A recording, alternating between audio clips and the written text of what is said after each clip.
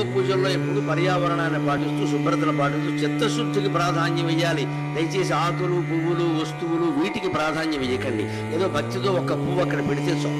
దేవుడి దగ్గర పెట్టడానికి ఒక్క పువ్వు చాలు. వంద పువ్వులు పోయక్కల్లా ఇంట్లోనేమో ముప్పై ఆరు విగ్రహాలు పెట్టాం అన్నింటికి పూలు పెట్టాం విచిత్రం వారమైనా ఆ పువ్వులు తీయరు. చస్తున్నారు ఆ విగ్రహాలు అక్కడ ఊడిపోయి పువ్వులు తీయట్లా పువ్వు ఎందుకంటే మంగళవారం శుక్రవారం ఎన్ని శంకలో మనమంతా శుభ్రంగా అందంగా ఉండాలి.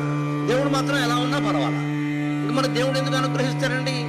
పూజా మందిరంలో ఎప్పుడు ఐదారు విగ్రహాలు మించి ఉండకూడదు. ఒక యాభై పెట్టకుండా దేవుడు స్టోర్ రూమ్ కాదు. వాటిని కడగరు తుడవరు. వాటి నిండా పువ్వులు బూజు పట్టేశాక అనుకుంటున్నాను అనుకుంటాను దీపావళి వస్తుంది కదా.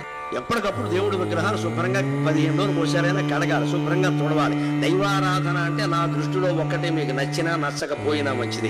ఎదురుగా కూర్చుని దైవాన్ని చూడటమే దైవారాధన. దర్శనం దర్శనం దర్శనం